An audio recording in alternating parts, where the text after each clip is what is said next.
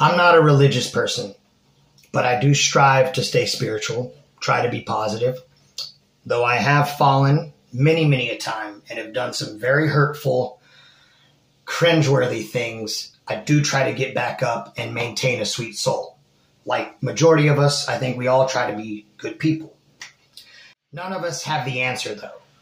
But I think one thing we can all agree on is that when reading the book of Genesis, we can all agree that the original blueprint foundation that God intended this house we call Mother Earth to be, it didn't really pan out the way it was supposed to.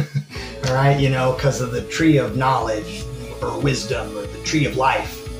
And those darn cunning serpents. Who would have ever who would have ever thought of sit here and honestly say that if it was me, I would have done it differently when presented with such a temptation. Because if you think about it, according to the writings, that was the first temptation ever. So, you know, we hear about original sin. Well, there would never be original sin if there was never an original temptation. I can't sit here and say that I, if it was me, I would have said no to the serpent's temptation and not touched the forbidden fruit. I, I am also a vegetable guy anyway, so.